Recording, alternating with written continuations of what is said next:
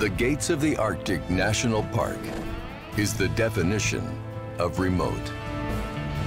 Situated entirely above the Arctic Circle, it contains no roads or trails, just staggering wilderness, full of truly wild things.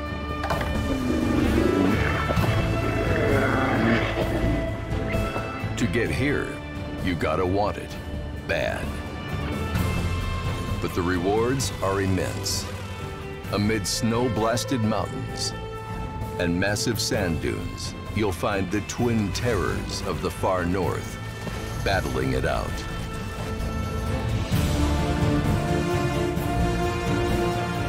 Ancient migrations undertaken for tens of thousands of years. Creatures of an ice age past and the unbearable cuteness of being. If you really want to get away from it all, there's nothing like the Gates of the Arctic National Park.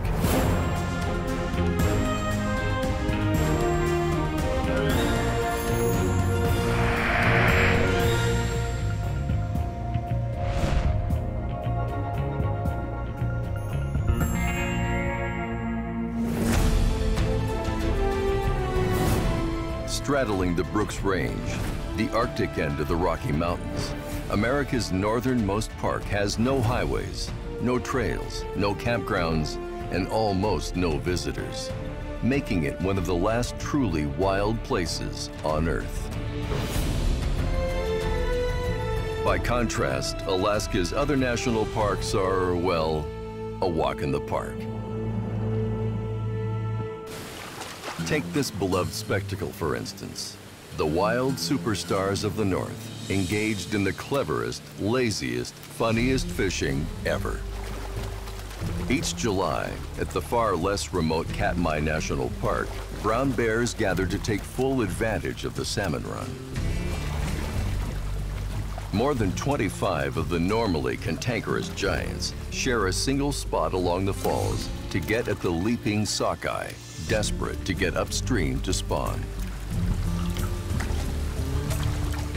An experienced bear can snap up 30 a day with a minimal investment of energy. But bears and fish are not the only ones making this pilgrimage. This is more of a showcase than a pristine wilderness. It is a clever compromise one that seems to make both bears and people very happy, if not the fish.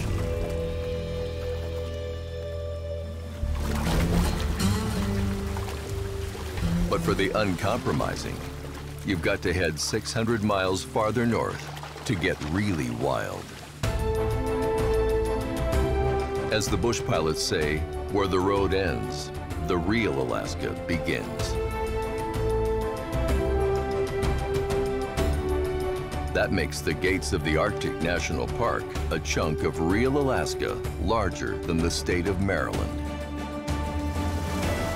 Here, it is the chum salmon who are spawning. After wandering thousands of miles in the Pacific Ocean for over three years, they have returned to Alaska and somehow navigated 300 miles upstream to the waters of their births.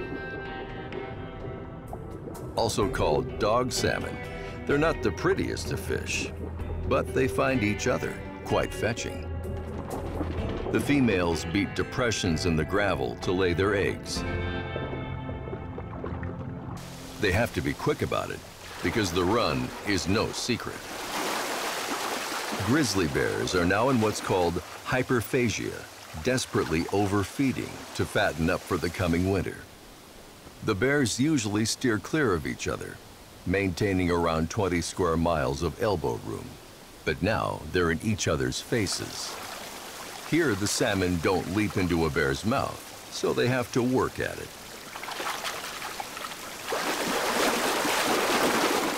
The most skilled bears can catch fish after fish, but this guy's just learning. And he's got competition. A female and she's an old hand at salmon fishing.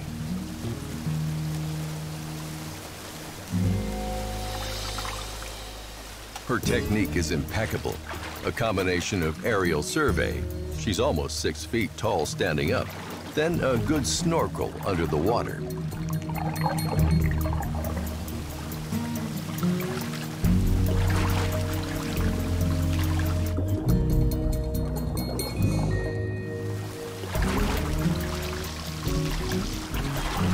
She's pregnant and needs those calories badly.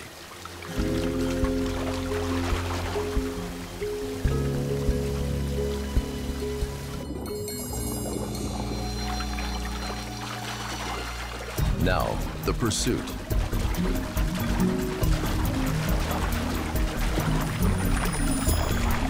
The pounce. And the prize. That's a 12 pounder, and she catches more before the day is over.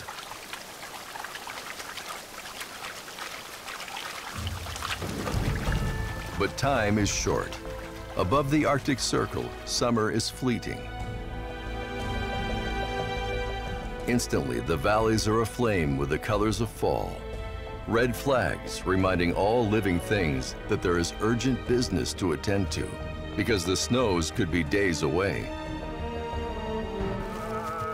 Throughout the fall, there is the usual noisy rush to reproduce and eat enough to get through the winter. By November, snow covers the summits of the Brooks Range and the gates of the Arctic becomes as deadly as it is breathtaking.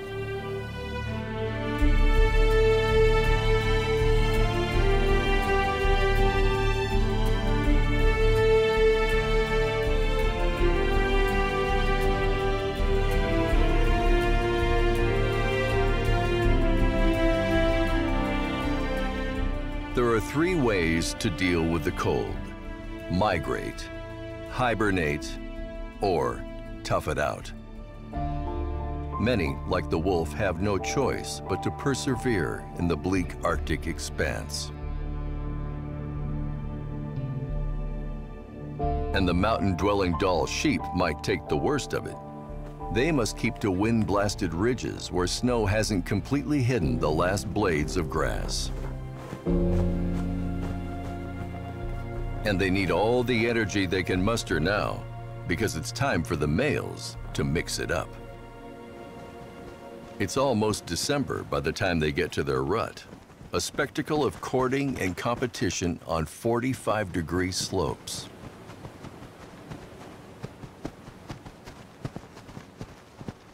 A young ram checks a female. She obliges him with a sample of her hormone level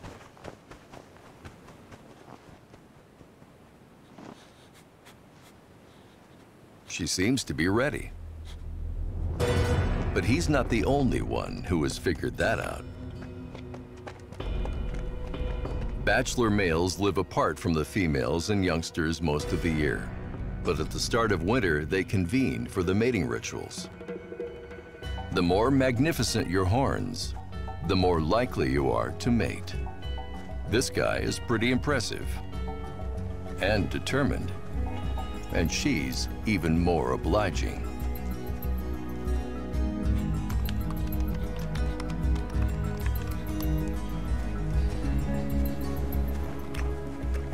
But everyone has caught wind of her readiness.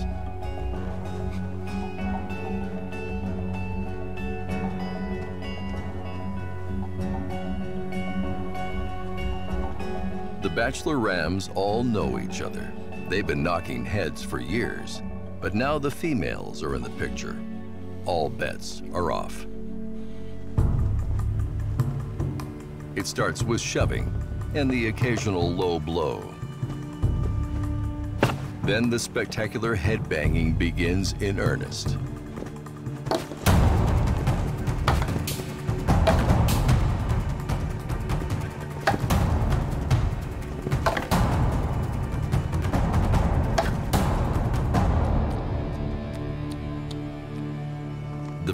shows off his domination. Though serious injuries are rare, he's drawn blood.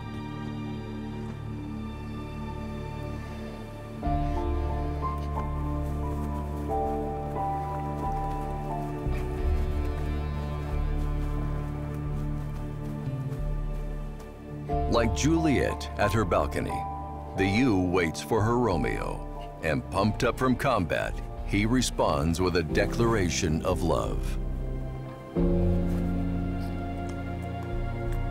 If he's lucky, his kids will be frolicking in the heights in a few months. In the long twilight of late autumn outside the park along Alaska's northern coast, polar bears kill time because they can't kill prey until the ice freezes. These endangered giants are trapped by warming oceans. Each year, it seems their ice road to the fat seals they crave forms later and later. But the backup at the shore can cause trouble. Mothers with small cubs need to be especially wary. Male bears sometimes kill and eat cubs.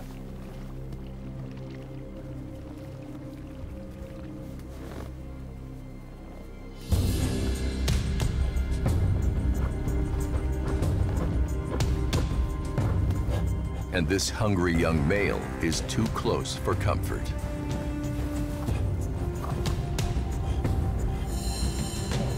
And here comes another voracious giant. When males are fasting, tempers flare, conflict is coming. The male polar bears trapped at the coast are facing off.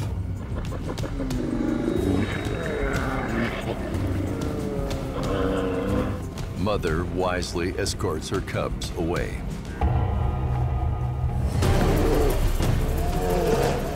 Usually males just play fight while waiting for the ice that will take them to the seals and end their season of fasting. But the ice is coming later and later each year.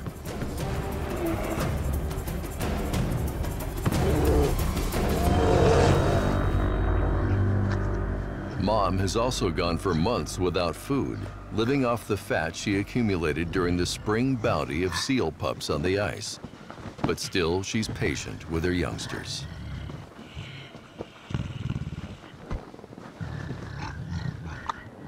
Her milk is incredibly rich, nearly a third fat, about eight times as much as human milk.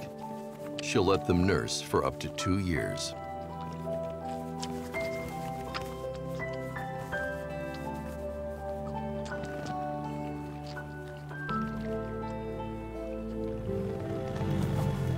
For now, all they can do is wait for the ice.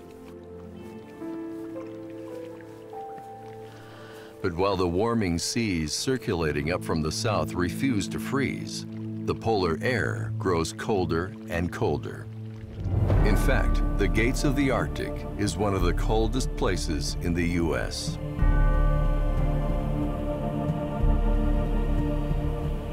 Some survivors of the Ice Age are perfectly adapted to the harsh conditions. By 1900, the extraordinary muskox had been exterminated in Alaska. Three decades later, 34 of them were reintroduced from Greenland. Today, there are around 4,000 of them in Alaska, and some have reached the gates of the Arctic National Park. Their coats have the longest fur of any American mammal, and an undercoat eight times warmer than sheep's wool. Their barrel-shaped bodies and stumpy legs minimize heat loss in the bone-cracking cold.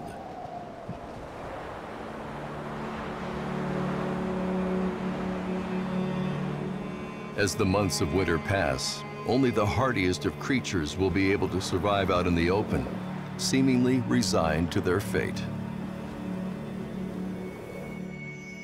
But under the tundra, some creatures are pulling off a small biological miracle. The hibernating ground squirrel's body temperature has actually dropped below freezing. Every two to three weeks, he'll start to shiver, warming himself back up to normal temperatures, a mysterious key to his survival.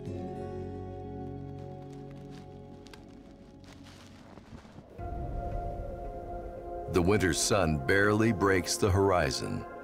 And during the almost perpetual night of the Arctic winter, temperatures can plummet to lower than 50 degrees below zero.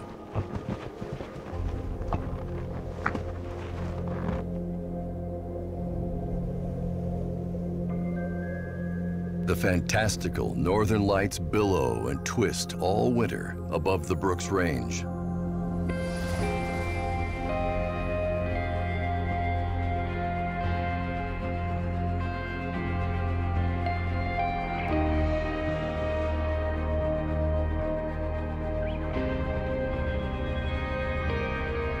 Some native peoples believe the northern lights are the dancing spirits of the dead. Science has an equally otherworldly explanation. These sheets of light happen when charged particles from the sun, caught by the Earth's magnetic field, stream down at the poles, where they react with the atmosphere. Either way, they are enchanting.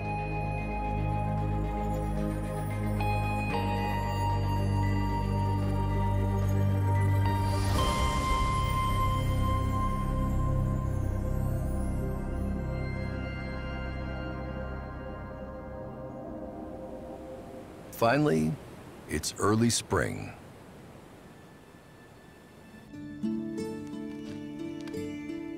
After about seven months, the Arctic squirrel shivers himself awake, ending his long hibernation ordeal.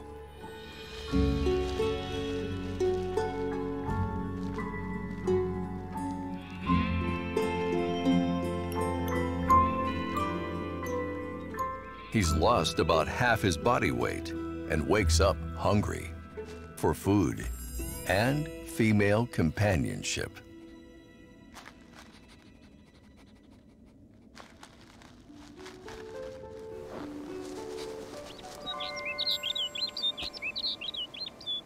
There's no time to lose.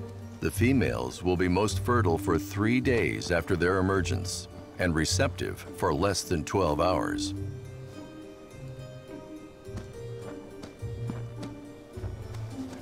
A quick kiss and sniff? She's not in the mood. No problem. He has a whole colony to check out, with dozens of entry points.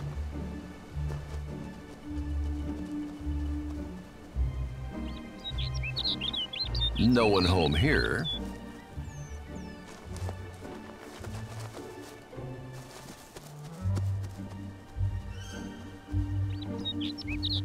Hello there. This lady seems to be interested. But other males are never far away, and this guy's big. The first male rubs himself in his own pungent scent from a special gland. It's meant to advertise his virility. But the big guy's not impressed. Now, he's just mad. Male ground squirrels are extremely violent at this time of year. With a mating period of only two weeks, the stakes are incredibly high.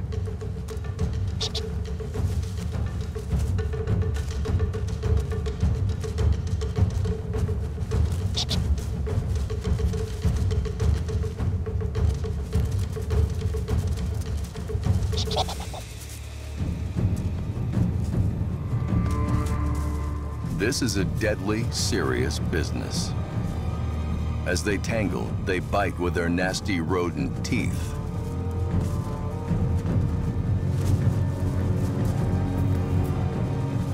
Grave injuries are not unusual and sometimes fatal.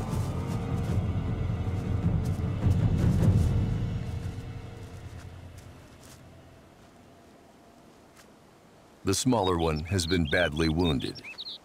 He'll live, but probably lost his chance to mate this year. The victor now has to win the lady's affections. She's coy at first, but relents in the end.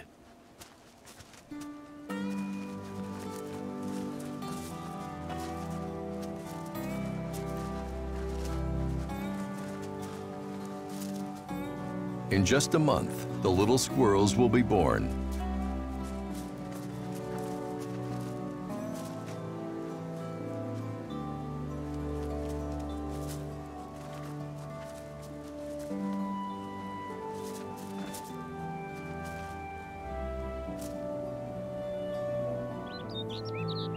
By May, spring still struggles to throw off winter.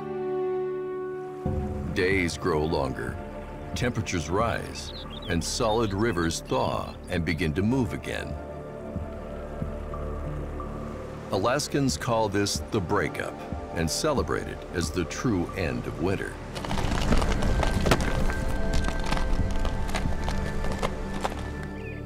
While the rivers and ponds are melting, the ground remains frozen. And under the leaf litter, someone is pulling off a miracle that puts the ground squirrels to shame. This wood frog is frozen solid. Even his eyes are iced over. There's no pulse, no breath. Slowly, the warmth of spring begins to thaw from the inside out. His heart starts beating.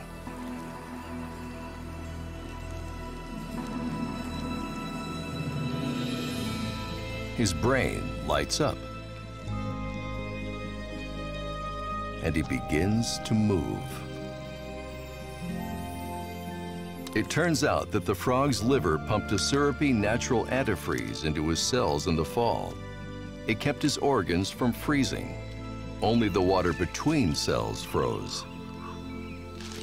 After eight months frozen, he's completely undamaged and leaping straight for the nearest pond. Now, Alaska's least welcome yearly arrival slowly bursts from its watery home, the mosquito. And it immediately wants blood. Not even cold-blooded frogs are immune. The number of mosquitoes here far outstrips that in any jungle on Earth.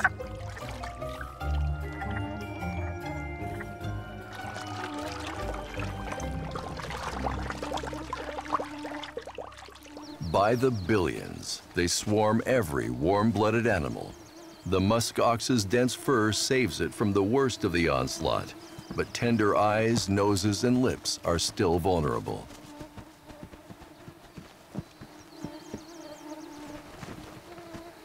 Finally, they can stand it no longer.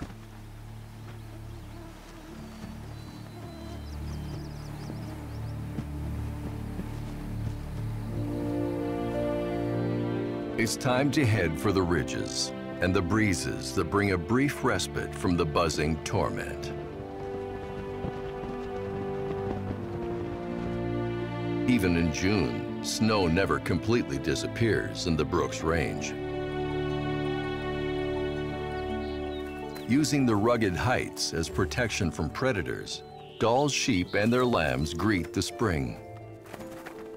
At just three weeks old, they're agile mountaineers, and already they're getting into shoving matches to establish dominance. They'll stick with their moms till October. Later, they'll head off in their bachelor groups till they're old enough to mate. Few predators can threaten them here in the heights. But bears, emerging from their deep winter sleep, are starving and desperate. Late June has brought our grizzly mother out of hibernation, new cubs in tow, and she hasn't eaten since last fall. But it's virtually useless trying to chase down Dall sheep on these slopes.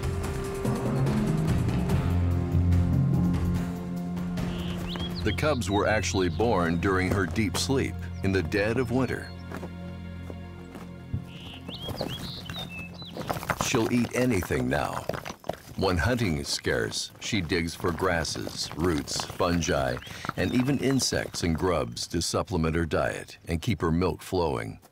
But soon, she'll have to hunt.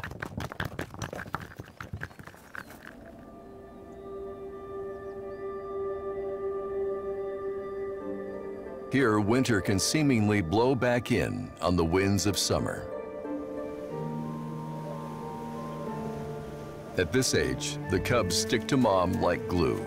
There are dangers to them here, particularly from grown male grizzlies. But right now, mom's concern is food. The salmon run is still two months off. Till then, she'll just have to make do with the grasses, grubs, and rodents under the snow.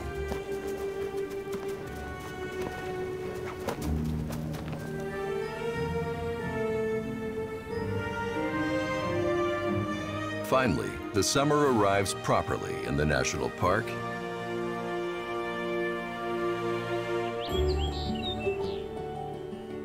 Bringing with it endless sunlight, balmy temperatures in the 70s, and a riot of color.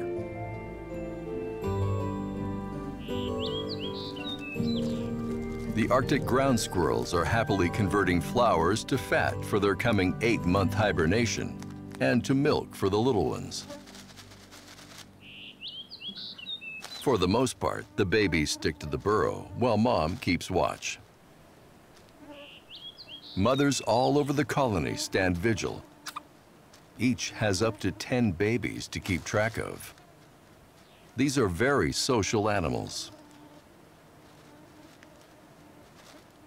And like all mammals, the youngsters are playful curious, and given to fits of sibling rivalry.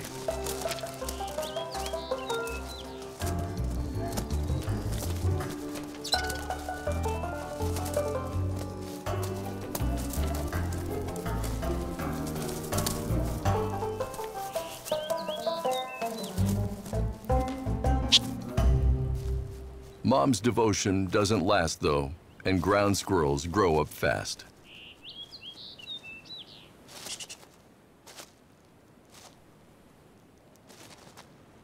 At two months old, the youngsters begin to venture out on their own. In the days of eternal sunlight, everyone seems to be on the move. But nothing rivals the great migration of the caribou. In late June, hundreds of thousands of them cross Alaska's North Slope, the coastal plains braided with meltwater making its way to the sea.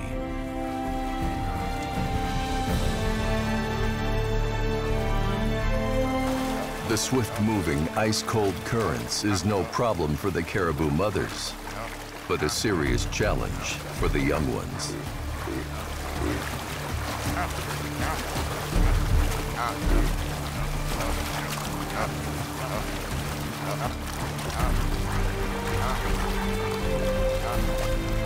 But for the caribou, it is sink or swim, move or die.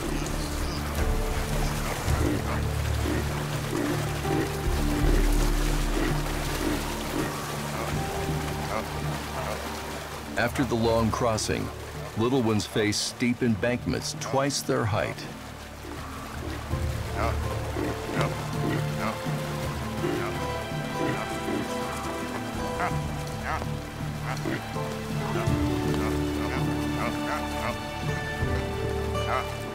Finally, the calf finds a way.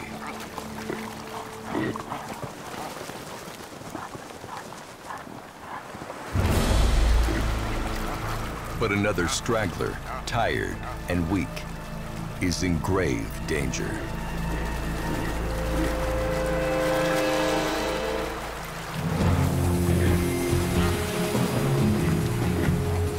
Sucked downstream by the currents, one calf struggles ashore, only to find himself trapped by the embankment.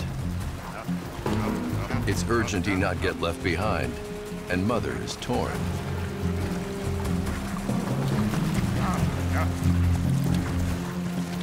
He can't quite puzzle it out, even with mom's encouragement. If he exhausts himself, he won't be able to keep up with the herd, and he will not survive.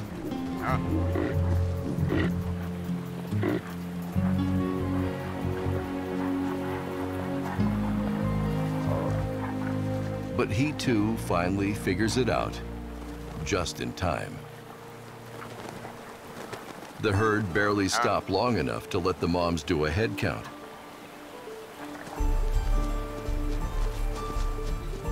Ah. And with a good shake, they're on the move again.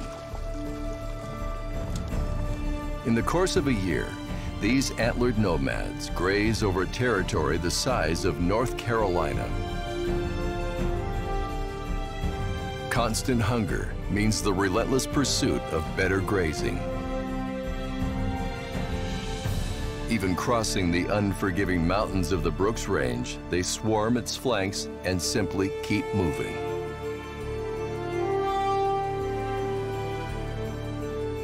For the caribou, survival lies on the other side.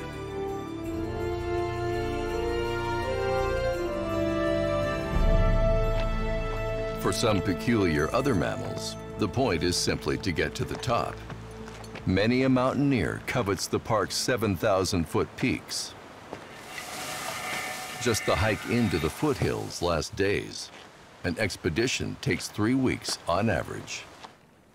The rock towers found in the Arrigetch Peaks provide extreme technical challenges for climbers.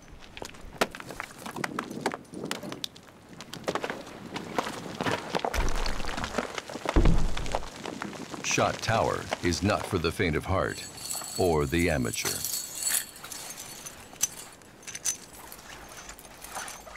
The first mountaineers only reached the summits of the national park in the 1960s.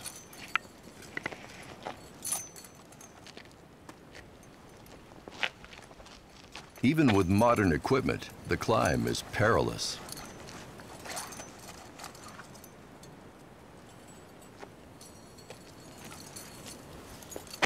But success is all the sweeter for it.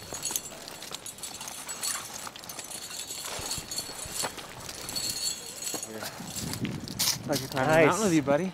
Yeah. And you just can't beat the view from the top. A view few people will ever get to experience.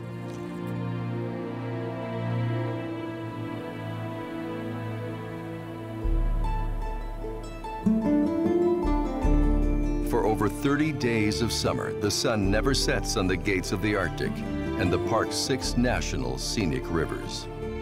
In August, the Noatak River welcomes its prodigal sons and daughters back from thousand-mile trips. The chum salmon have come home again to spawn, and the bears aren't far behind. Our grizzly family is back, and they have a third cub with them. Grizzlies have been known to adopt orphans.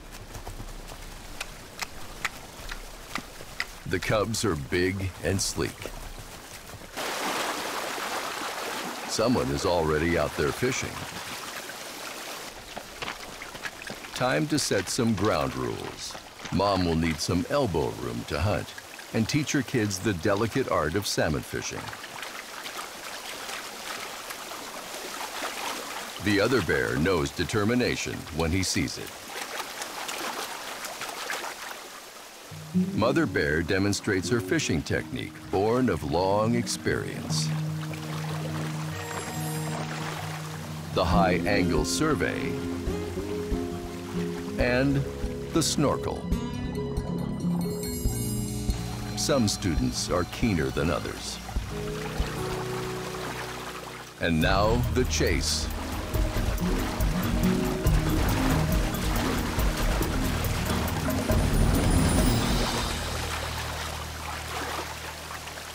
And voila.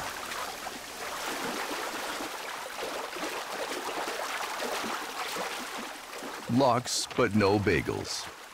A breakfast for four. But here comes appetite number five. A big male. It's not wise to get too close to a mother bear during the salmon run. The newly arrived male gives the family a wide berth for the moment.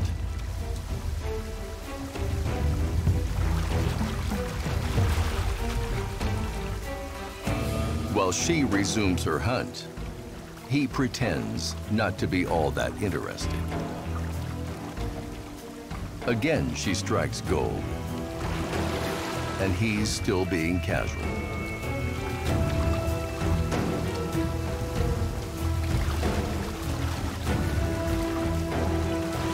she's had enough.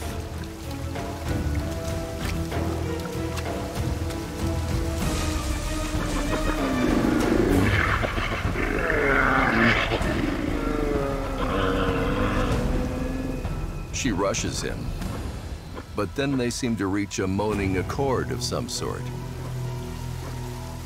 Maybe he's her grown cub from previous years.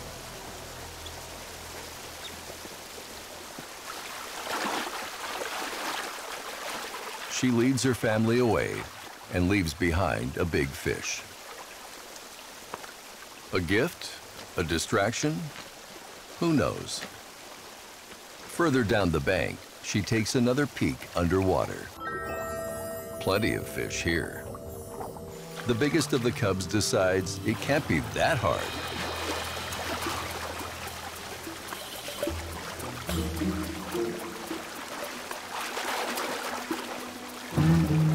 Must remember not to breathe water.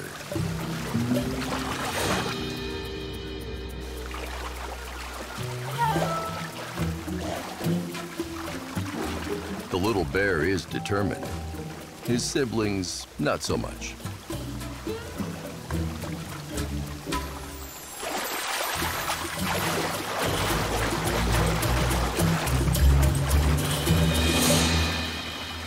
Nailed it. And it's a whopper.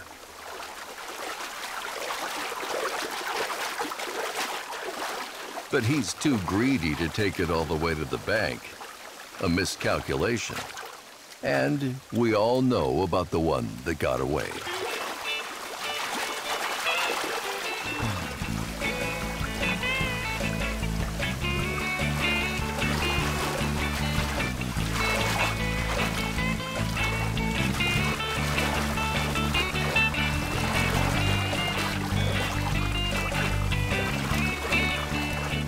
Be making that mistake again soon.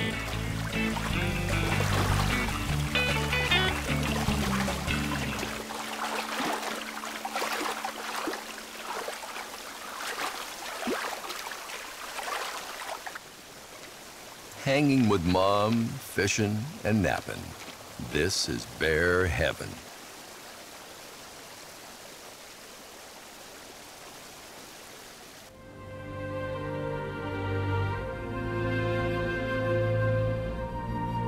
In this part of the world, you expect snow and ice, seas and streams, mountains and rock. But sand dunes? Actually, these massive sand dunes lie above the Arctic Circle in Kobuk Valley, just west of the park.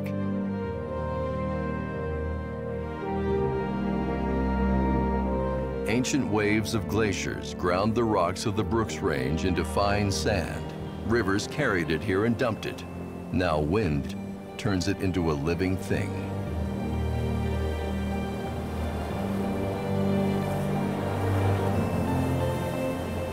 These 100-foot high dunes march across this landscape just the way their desert cousins do.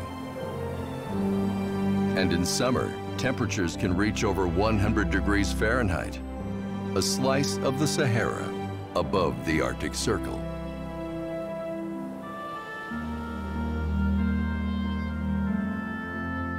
Now the red and gold of autumn cover the tundra, topped with the blue of sweet berries. After the fabulous dinner of the salmon run, the grizzly's dessert is ripening all around. Mom takes her cubs on a scouting trip to the best berry bars.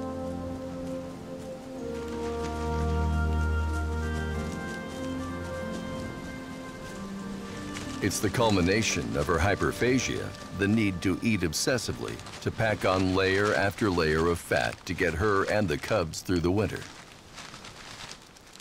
The ground squirrels, too, are stuffing themselves in preparation for hibernation.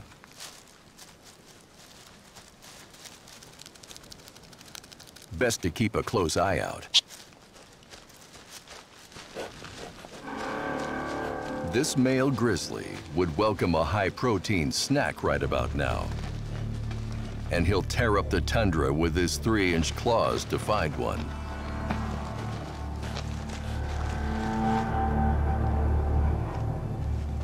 This place reeks of squirrel.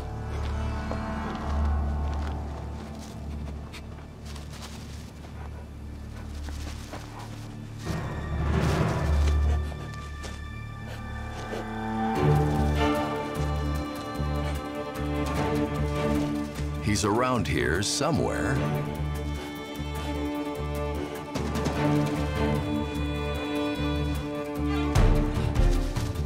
No, never, ever, ever run from a grizzly. He's fast as a deer and agile as a cat.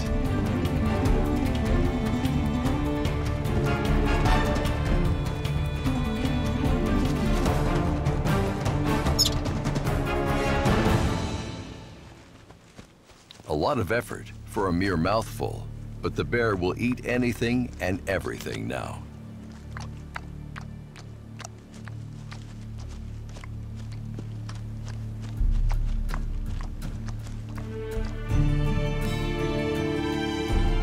In late September, the park's giants are everywhere. A moose in his prime weighs a thousand pounds and stands seven feet at the shoulder. His rack alone measures six feet and weighs more than 75 pounds. He's looking for love. The females are becoming receptive.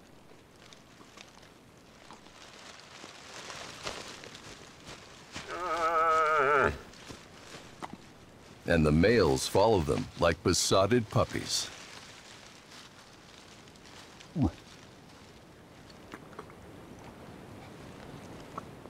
When she lets him put his head on her, she's ready.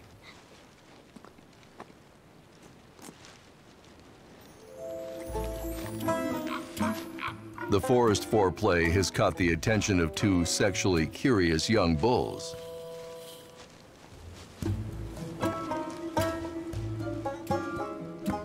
The voyeurs, with their underwhelming antlers, don't stand a chance at mating.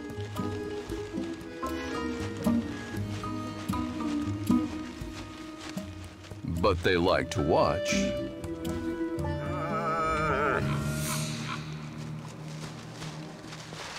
Busted. The old guy drives them off. Now to resume his romance in peace. But an old bull has materialized out of the woods. This means war. In the fall, fights between bull moose can be fatal. The first bull shows off his strength and rack. The challenger seems unfazed, despite his lopsided antlers.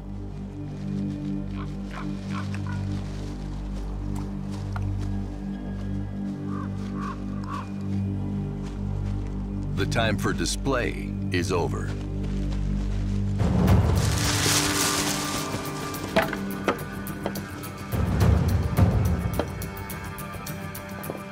The sounds of antlers clashing can be heard a mile away. Battles can last for hours.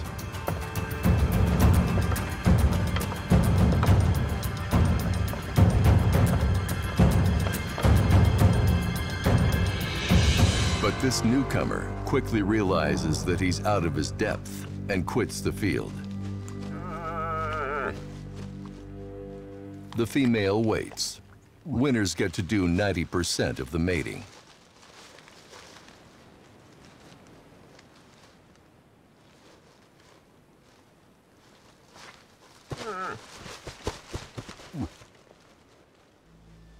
Afterwards, the bull enjoys a well-earned rest.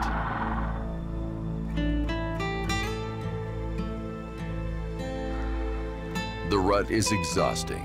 His rack grows heavy, and there's a long, bleak winter ahead.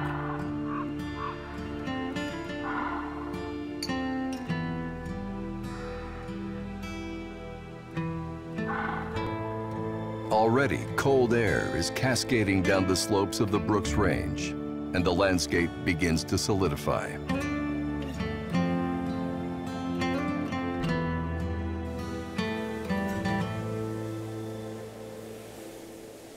The freeze-up is late this year, the time when rivers harden into ice roads. The sun starts to hug the horizon. The long twilight is not far off. Ice crystals in the air give birth to sundogs, stunning halos visible to either side. The last thing to freeze will be the Arctic Sea north of the park, but it too is late again. The polar bears can only wait.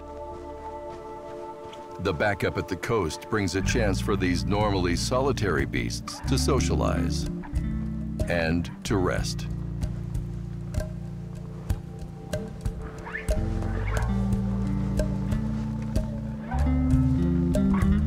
They're professionals when it comes to conserving energy.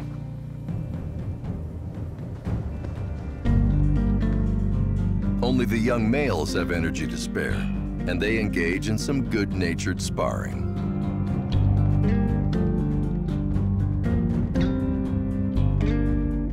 Come spring, they may badly hurt each other over a female, but this is all in good fun.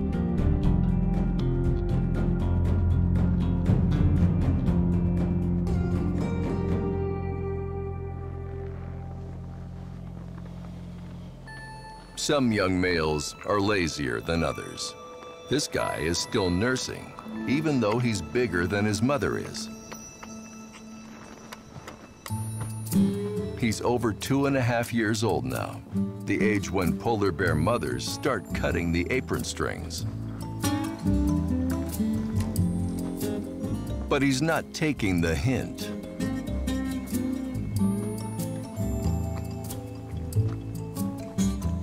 Even when it's more than just a hint. Soon, she will have no patience for her big baby.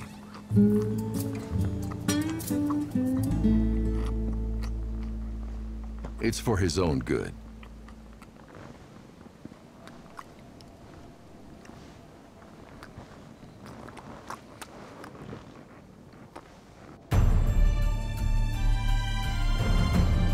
Finally, the sea is freezing over. Alaska's most northern gate to the Arctic has opened. It is time he inherited his kingdom, the kingdom of the ice.